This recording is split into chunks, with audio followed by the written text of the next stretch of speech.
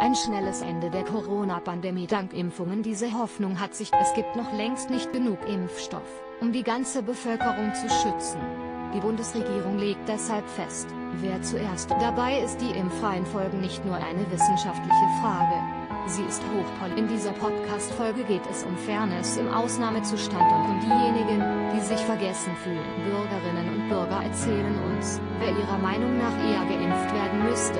Lehrer und Lehrerinnen, Kita-Personal, hören Sie im Podcast, wer bereits hochgestuft wurde, ob die Priorisierung nochmal geändert werden könnte und weshalb Sanktionen für Vordrängler möglich sind. Zum Thema Strafen bei Verstößen gegen die Impfreihenfolge können Sie außerdem in unserer aktuellen Umfrage teilnehmen, die Sie in diesem Artikel finden. Neugierig geworden? Dann klicken Sie oben am Artikelanfang einfach auf den Playpfeil und hören die neue Folge von Stimmen Podcast Stimmenfang abonnieren. Sie können Stimmenfang in allen Podcast-Apps kostenlos hören und abonnieren. Klicken Sie dafür einfach auf den Link zu Ihrer Lieblings-App. Spotify, Apple Podcasts, Google Podcasts, Amazon Music, dieser Castbox, Overcast, Alexa und abonnieren Sie dann den Podcast, um keine Folge zu verpassen. Wenn Sie lieber eine andere Podcast-App nutzen, suchen Sie dort einfach den Link zum RSS-Feed finden Sie.